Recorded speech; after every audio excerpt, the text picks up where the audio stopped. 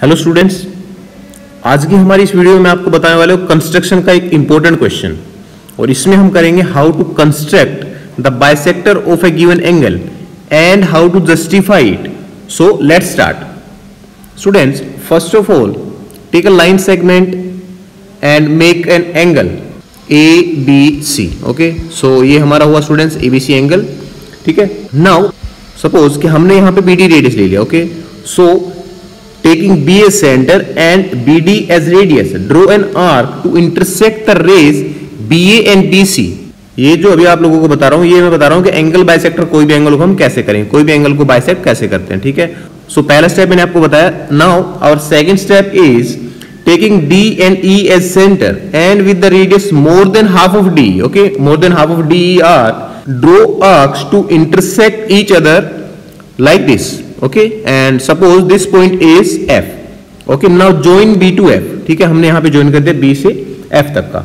So this ray B F is the required bisector of our angle A B C angle okay so this is the very simple concept of drawing an angle bisector but students what is the justification of this angle bisector ये हम prove करेंगे यही इसका angle bisector मतलब students ये जो angle हमारा बना E B F angle is equals to D B F angle ठीक है? This is what we need to prove okay और वही होगा स्टूडेंट्स हमारा जस्टिफिकेशन तो वो हम कैसे करेंगे देखिए? Students for justification join E F and D F okay like this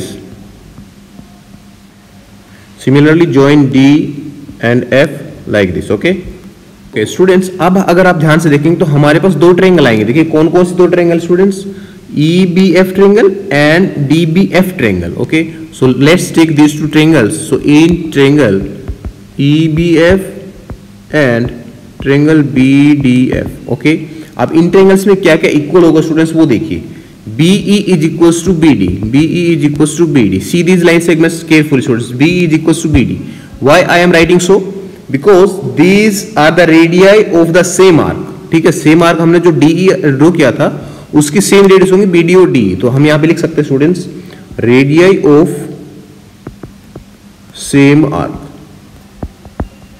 okay next आपका स्टूडेंट्स रहेगा E F is equals to D F students E पे अगर आपको ध्यान होगा तो डी और ई पॉइंट हम सेम रेडियस से हमने एफ़ पॉइंट पे ये आर्क्स ऐसे ड्रॉ करी थी कि इंटरसेक्ट करेंगे। तो ये भी हमारे स्टूडेंट्स इनकी रेडियस क्या होगी? इक्वल ठीक है? तो यहाँ हम लिख देंगे arcs of equal radii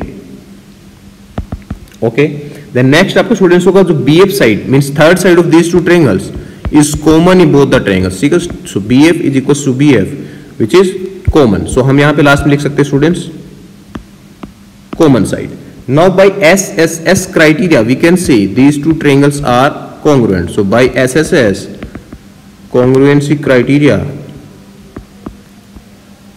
triangle E B F is congruent to triangle DBF. Students यहाँ पे आप कोरस्पोंडिंग साइड्स और कोरस्पोंडिंग एंगल्स को ध्यान में रख के और यहाँ पे हमें लिखना है ई बी एफ़ कहाँ पर है? देखो ई बी एफ़ और डी बी एफ़ ठीक है? ये दोनों ट्रेंगल्स को हम यहाँ पे लिखना है। अब स्टूडेंट्स हमारा नेक्स्ट स्टेप क्या रहेगा? स्टूडेंट्स अगर आप ध्यान से देखें तो हमें ये दोनों एंगल इक्वल प्रूव करना है और ये दोनों एंगल स्टूडेंट्स जो हमने अभी अभी ट्रेंगल प्रूव किया congruent these are the corresponding angles of these two triangles so हम यहाँ पे कहेंगे by CPCT by CPCT angle EBF is equals to angle DBF okay students और यही हमें स्टूडेंट्स यहाँ पे जस्टिफाई करना था।